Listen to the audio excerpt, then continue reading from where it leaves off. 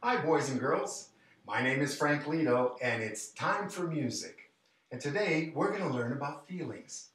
Sometimes it's hard to hide your feelings. You can just look at someone's face and tell how they're feeling.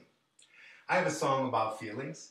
Let's give it a try. And in this song, I want you to make some different kinds of faces. Let's give it a try.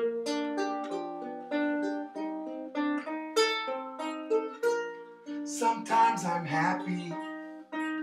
Show me a happy face. Let's see happy faces. Sometimes I'm sad. Show me a sad face. Sometimes I'm silly. Show me a silly face. Sometimes I'm mad. Show me a mad face. Sometimes I'm sleepy. Show me a sleepy face. Sometimes I'm shy. Show me a shy face. Sometimes I'm scared.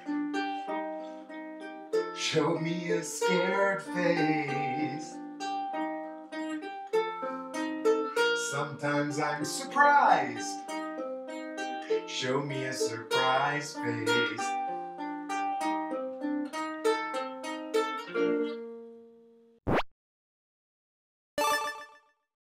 Now let's play a game with our feelings. You're looking at three children. Two of them are very happy, but one has a different kind of face. Do you know what kind of face that person has? A silly face. Yes, you're right. Let's try one more. Two of the three children you're looking at have a surprised face, but one has a different kind of face. Do you know what kind of face that is? Yes, a sad face. So we learned a little bit about feelings today and how to show our feelings with our faces. We hope you had fun. I'll see you next time. Bye bye. Bye bye.